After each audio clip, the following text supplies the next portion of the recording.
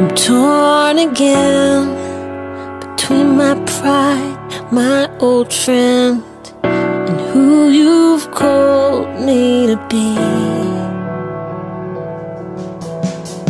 I've sworn again to lay it down, to bring an end to this life lived for me. For I've life to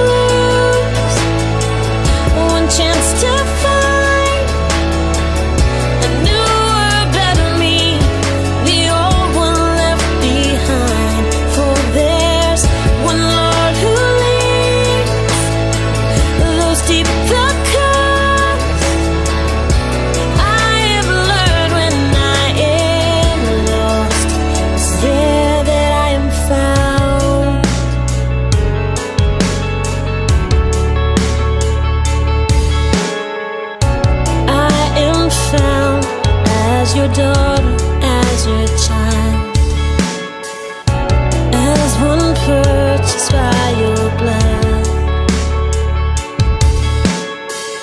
And though there's nothing I can add to such a perfect sacrifice.